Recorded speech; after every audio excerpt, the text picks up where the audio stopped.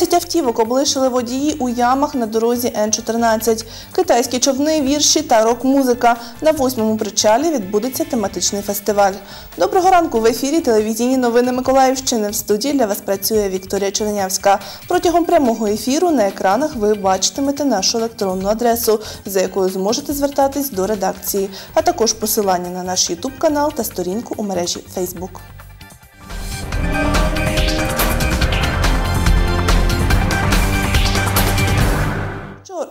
Вчора, 30 травня, на трасі Н-14 люди залишили автівки у ямах на дорозі. Кажуть, не можуть проїхати. На місці подій побувала наша знімальна група.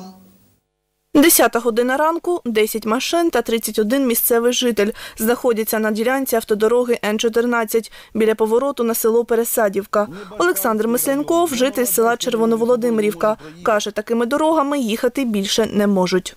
Далі всі машини застрягли в ямах. Визвали поліцію, визвали облавтодор. Ждемо, чекаємо на, пом- на поміч. Свого позашляховика у ямі залишив і Сергій Калашник. Від вибоїн у машини пошкодився кузов. Це при тому, що це внедорожник. А що говорить за другі машини вже? Ви подивіться на тіла, насихай, хай як вони проїдуть у тих ямах. От усе подивіться, оце ось ми по цим дорогам подивіться в якому болоті, тому що її навіть помити не треба, тому що такі дороги наші страшні. Оце жахливий, самий більший кусок, оце ось пересадовський, самий жахливий. От туди далі, там отакі ями, джип заїжджаєш, стаєш ногами на кришу. Понимаєте? Воно далі, через 100 метрів. Ви проїдьте, подивіться, що там твориться. Там машини здорові розвертаються і йдуть назад. Немає як проїхати. За півгодини на дорозі утворився затор. Вимушений з'їхати на узбіччя і водій Віталій Красноштан. Чоловік везе вантаж з Кропивницького до Миколаєва. У мене 39 940, без перегруза. Їду, чесно. По ямах. Ну, їхав воно з Восіяцького до Водяного воно там горнуть, роблять. Ну не знаю, чи сюди дійдуть, наскільки там виділять. Ну тут же ж невозможно їхати взагалі. Ну що дивіться. Подивіться на ці Ну ось, оце хіба це можна їхати такою машиною, ось бампера немає. Ну що перекриють, постоїмо ми, ну я буду стояти тут цілий день. Смисл, да. ну, їду цілий день на Ніколаїв, ці 200 кілометрів. Ну що, ну, ну це треба не тут стояти, я не знаю, це треба йти десь до когось добиватися. Ну смисл на дорозі. Що вони там подивляться, ну нас, посміються. Поліцейські приїхали об 11.40, прийняли заяву про непроїзність дороги та склали адмінпротокол. Приймати заяву, вимірювати дорожнє полотно, складати акт дорожнього покриття. Подальші матеріали будуть направлені до управління патрульної поліції для прийняття рішення щодо, спів- щодо робітників дорожньої служби, які будуть нести відповідальність. Заступник начальника служби автомобільних доріг в Миколаївській області Михайло Ганич не називає точного терміну початку робіт на 30-кілометровому відрізку дороги Н-14 від Пересадівки до Водяно-Лариного. Усе залежатиме від результату тендерних торгів.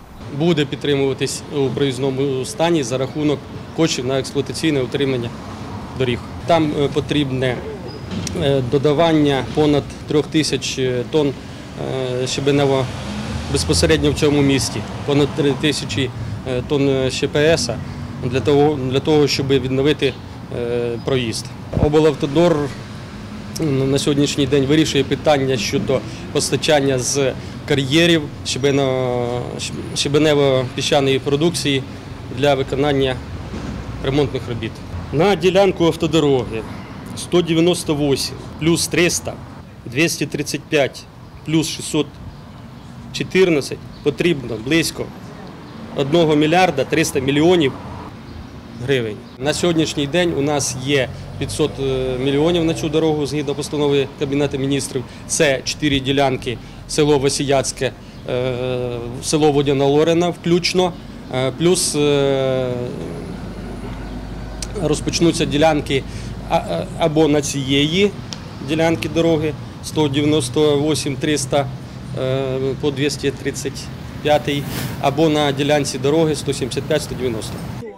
Після приїзду поліції, складання адмінпротоколів, власники автівок роз'їхались. Вікторія Чернявська, Ігор Чорний, телевізійні новини Миколаївщини. Сьогодні в Миколаєві о 17.00 на восьмому причалі розпочнеться Україно-китайський фестиваль Poetic Dragon Boat Fest. Фест і в програмі заходу сплав на китайських човнах, драконах, байдарках, яхтах, поетичний слем, рок-фестиваль. Проект був е, запропонований співробітниками навчального наукового центру міжнародного співробітництва Національного університету кораблебудування та підтриманий управлінням молодіжної політики Миколаївської міської ради.